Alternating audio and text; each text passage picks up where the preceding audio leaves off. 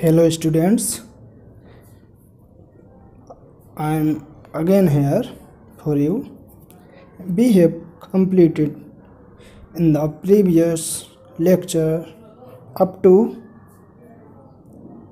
the organ system. Okay?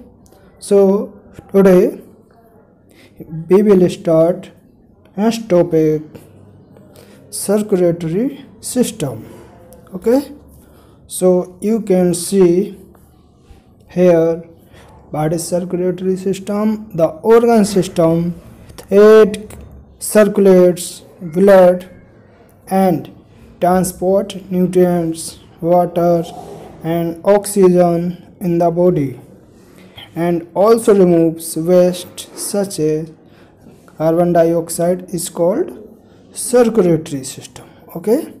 So here the organ system. That circulate blood. Okay? That circulate blood in our body. And transport.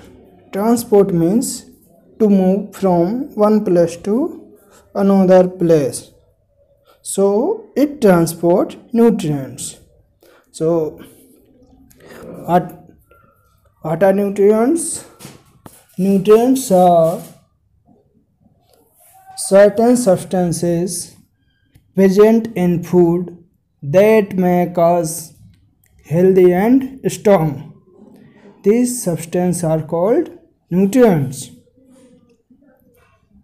We have read study in the class 4th okay? We have also studied there are five important nutrients needed by our body. What are they? They are carbohydrates proteins fats vitamins and minerals. Understand?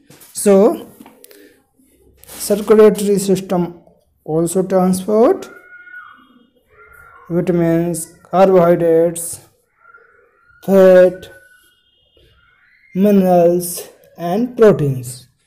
So understand and also remove waste such as carbon dioxide is called circulatory system. So when it transport oxygen to the cells of our body here they give oxygen and take back carbon dioxide and remove through the lungs okay? So now next is parts of circulatory system. So here are three parts of circulatory system. Heart blood and blood vessels so we will study one by one each part okay? First we will study heart okay? So here you can see heart is a muscular organ located between the lungs in our chest okay? So here it is located. It is located in between the lungs in our chest. He will show you diagram. Okay? It is tilted towards the left side of the chest cavity and is protected by the rib cage so here rib cage is also new term for you what i will show you diagram okay?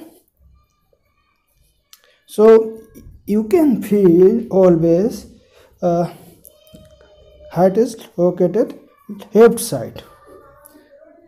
It is tilted towards the left side. So you can feel the heartbeat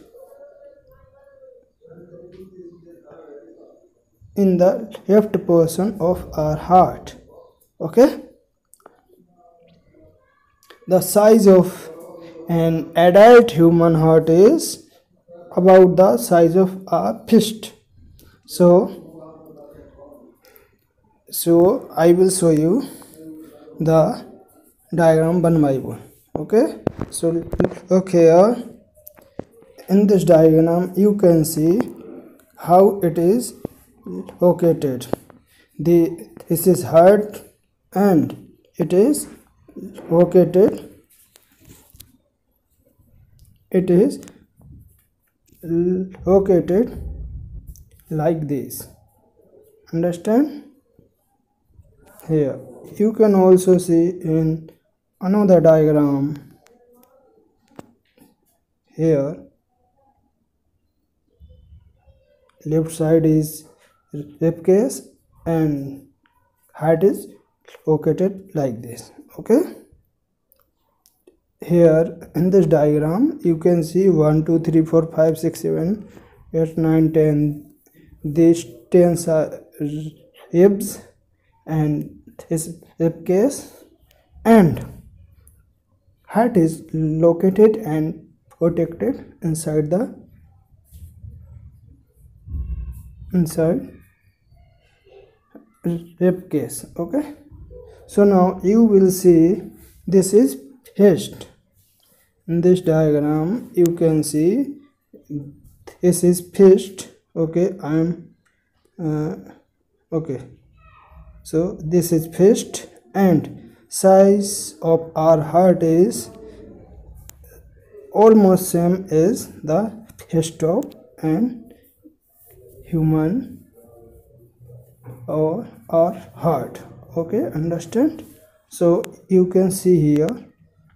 Okay so now clear? Okay.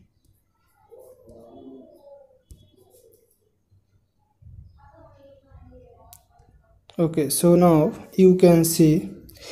So we have discussed here what is chest and how chest cavity is located. Okay so clear. You can also see in this diagram here. Here is heart blood vessels containing blood. Uh, you can see all over the body. Okay so this is called circulatory system. Now come to our next topic structure and function of heart. So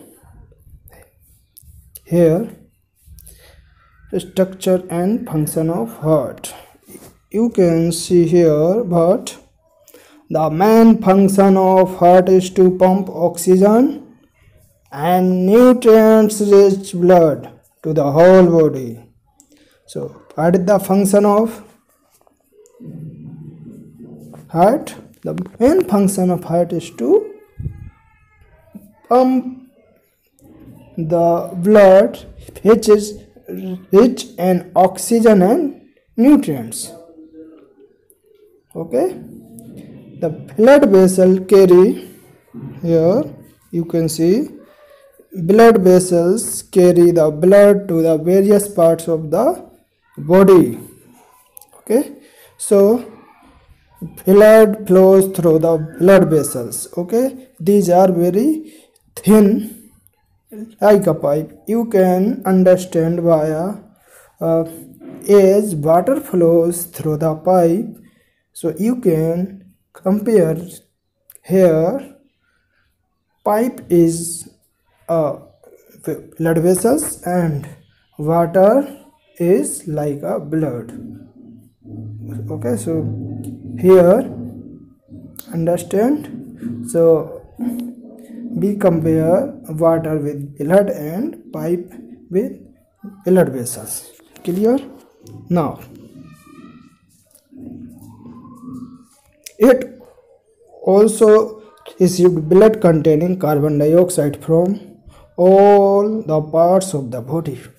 So do you think what happens when blood goes to different parts of the body and it give out oxygen to the cells and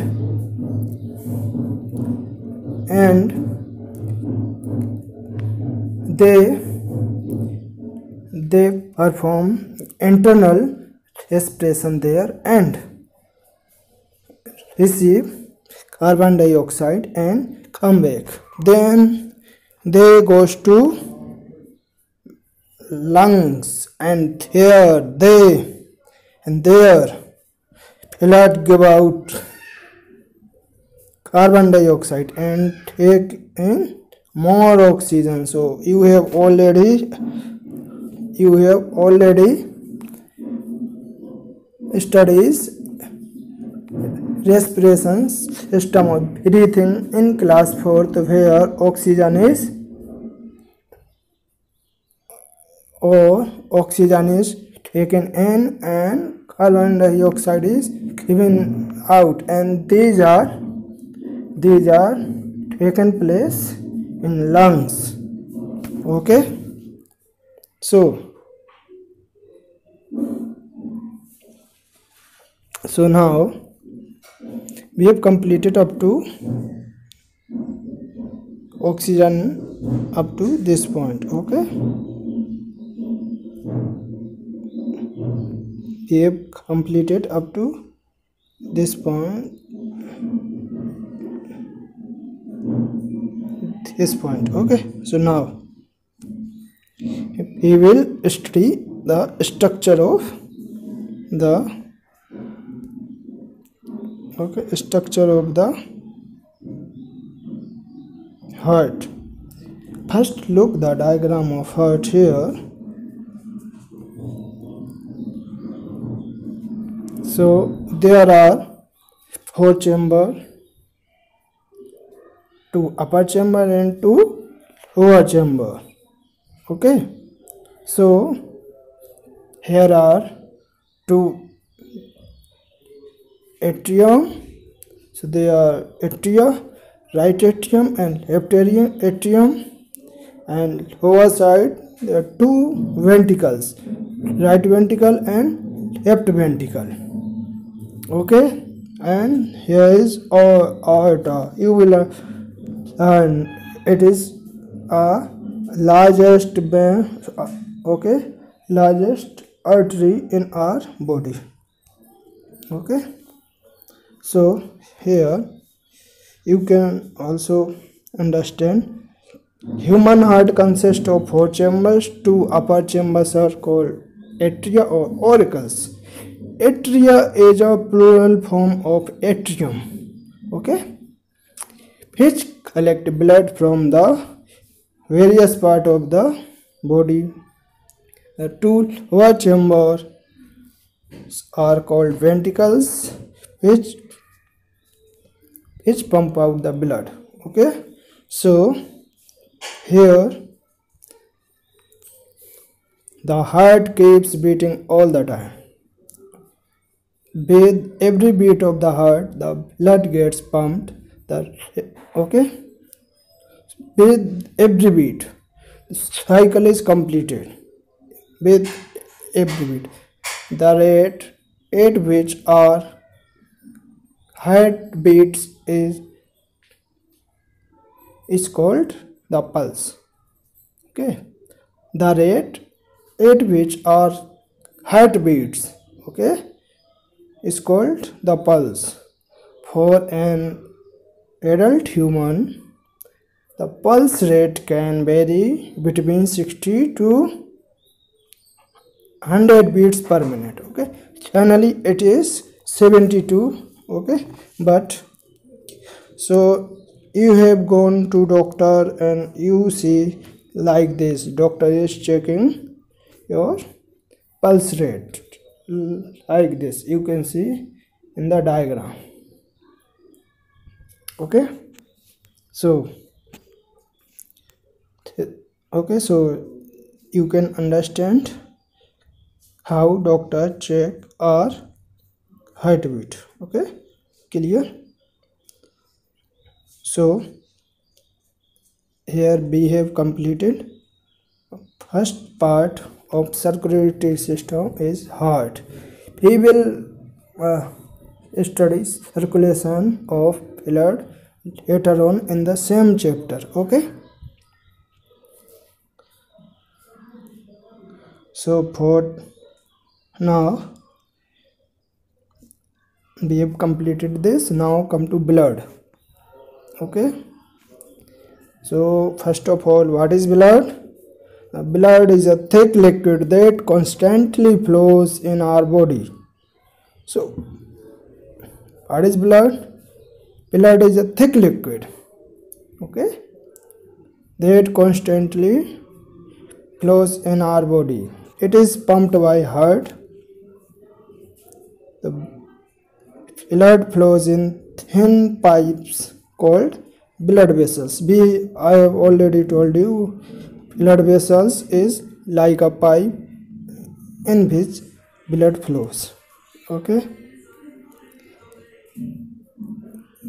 Blood is made up of three kinds of cell in a watery liquid called plasma. So watery liquid is called plasma and there are three kinds of cells the three kinds of cells in blood are red blood cells called RBCs white blood cells called WBCs and blood platelets okay?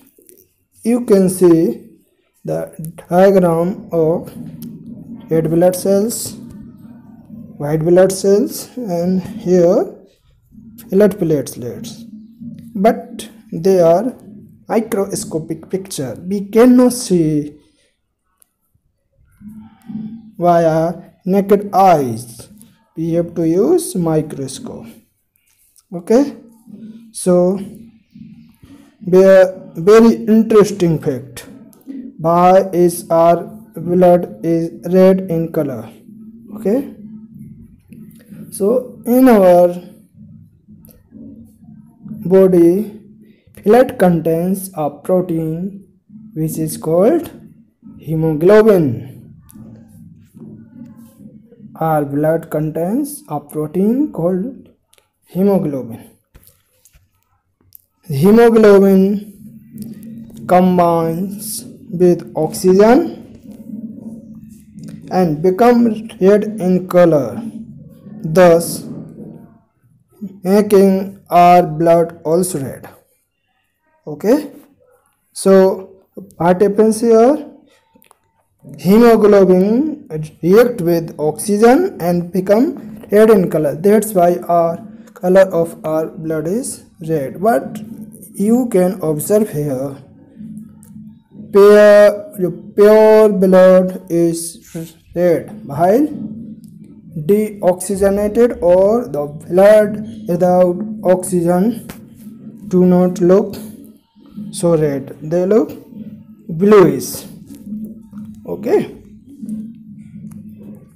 So here function of blood. First point. It transports oxygen absorbed by the lungs to all parts of the body. Okay? I have already told you transport means moving from one place to another. Okay? So it transport oxygen. Okay? Which absorbed by the lungs to all parts of the body. Okay? Second point. It transport carbon dioxide from the different parts of the body to the lungs so that it can be given out. Okay? I have told you when blood goes to the different parts of the body it exchange gases it give out oxygen and take carbon dioxide. So carbon dioxide come back with blood and it goes to lungs where it exchange gas. So it given out carbon dioxide and taken oxygen here okay? So clear now here it transports the nutrients absorbed in intestine to the different parts of the body. We have learned in class 4th about the digestive system. Okay, so we know nutrients is absorbed in intestine. Okay, so here it absorbed then goes to the blood and blood circulate throughout the body so it transport nutrients to the whole body. Okay. It carries waste products from the various parts of the body to the kidneys to be given out okay? We have also studies about excretory system okay? So in kidney blood is filtered and as a waste material urine is product which is given out later okay? Now next very important blood helps in maintaining the temperature of our body. Okay? So here blood help in maintaining the temperature of body. You have generally observed older people feel um, more cold during winter they they need more clothes they they bath with more or warmer warmer water why because they have lack of blood so so their body temperature they cannot maintain their body temperature. So they need extra care. Okay? Now second last. White blood cells have antibodies which defend us from infection and foreign bodies. Okay? So W B C have antibodies antibodies you can understand antibodies is like a guard hits protect us from various diseases okay it may be viral or bacterial diseases or fungal diseases okay last? Platelets help the bleeding to clot. When we are bleeding you have observed that when we are bleeding but after few seconds it get stopped automatically. Why because of platelets okay? So today up to here we have completed and next we will cover in next lecture okay? So thank you very much and uh, please uh, revise seriously and if you have doubt then comment okay? The or message on whatsapp. Thank you